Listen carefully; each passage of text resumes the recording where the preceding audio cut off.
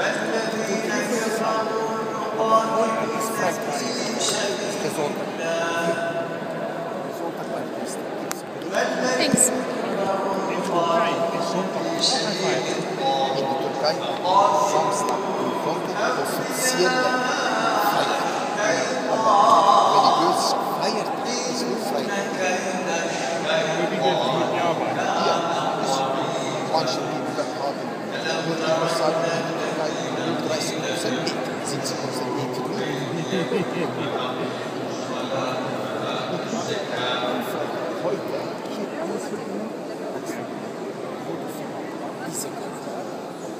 oben.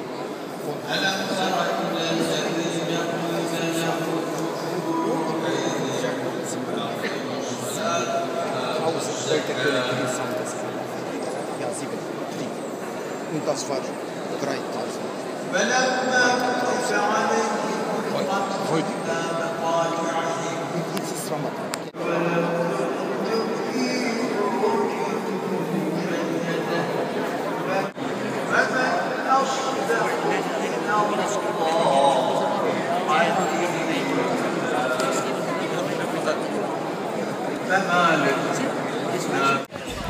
So busy in there. It was worth it.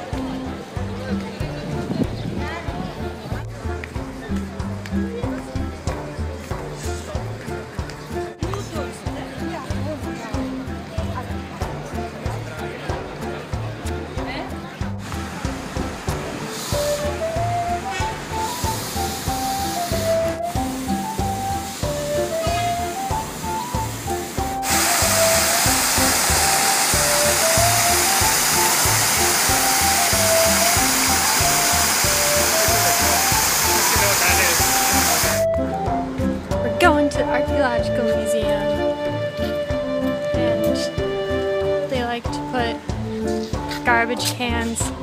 They like to put garbage cans on their lampposts.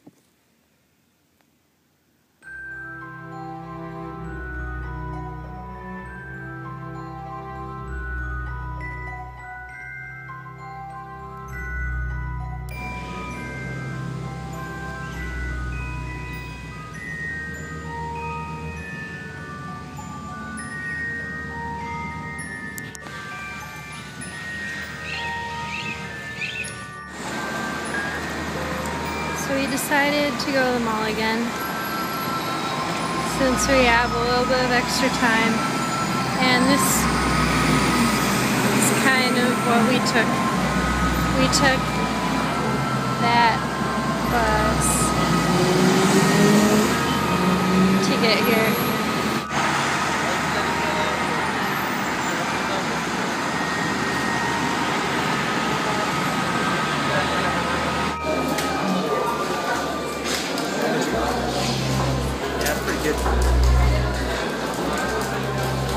Send it to you.